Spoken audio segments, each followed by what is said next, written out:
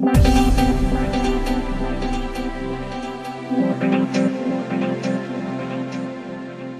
type of farm that, that I'm involved with and with my role as NFU, it's obviously my brother who's been um, involved much more in the day-to-day running of the farm. This is a really now very specialist arable farm, but one I hope you can see from the pictures behind me is learning um, to produce more crop, um, but also do it alongside environmental management as well. We want to grow hopefully profitable arable crops, good yields, but also in an environmentally sensitive way.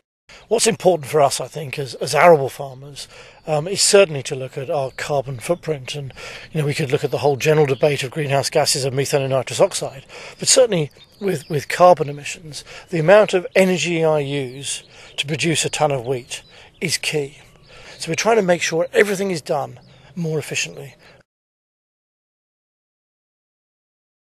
The machine we've just seen operating has a sensor on, sensing the green canopy as it travels, and then varying the application rates as it goes to try and make sure that you know we're not over treating areas where the soil has meant the crop has grown very lush and is potentially could fall over, which is again wasteful.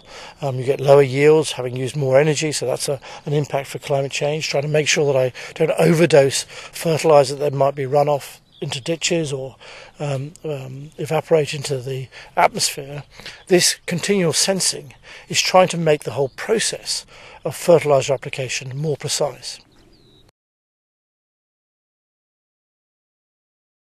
Phosphate this year has gone from £200 a tonne to over £600 a tonne. So by using the technology that goes and maps in detail these fields where the nutrient levels are low and where they're high, and then using um, global positioning GPS systems to make sure that we put the right amounts in the right place saves me a lot of those really, really expensive inputs. You know, I think there'll be some fields this year will pay for the testing of the land in one year, and you know, having already had the GPS variable applicator in the tractor, um, you know that will very quickly, perhaps over a three-year period, certainly pay for itself. And you know you can't predict what future input costs are going to be, um, but that's on a, a relatively large farm. I think by farmers collaborating, working together, they can see this technology applying product hopefully on their farms as well. Another piece of technology we're investing in this year is precision guidance systems onto tractors that are pulling big, heavy earth moving or cultivation equipment.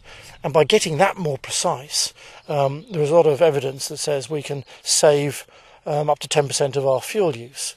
Now, as I say, precision guidance, making sure you don't overlap, you don't end up with awkward corners in fields, must be um, a great way of saving money. Um, I think there's lots of, of talk about um, climate change now, and lots of farmers having a, a, discussion now. The value, I think, of the NFU working with Farming Futures to, you know, put information out into the farming world, try and make sure that agronomists, advisors onto farms, are also aware of the the work and the case studies that Farming Futures have been involved in, is better than me, Peter Kendall, as a farmer, telling people what to do, but showing what can be done in genuine case studies. I think that's a, a great way of trying to get the message across.